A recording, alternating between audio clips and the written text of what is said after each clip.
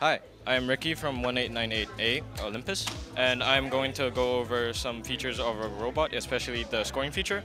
Um, we run a basket robot with a, a scoring feature of two small rollers and then a scoring roller on the back that ejects our block from the hood of three pieces of polycarbonate.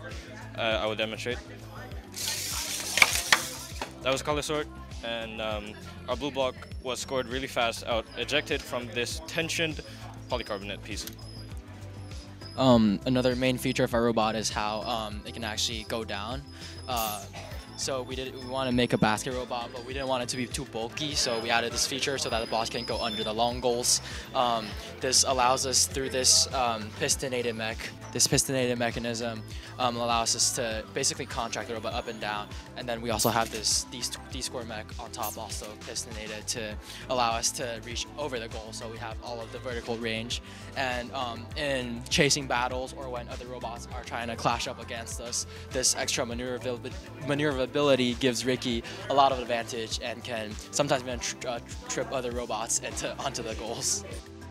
The Robotics Education and Competition Foundation provides fantastic programs for students from elementary school all the way through college. To discover these exciting opportunities, visit recf.org and get connected.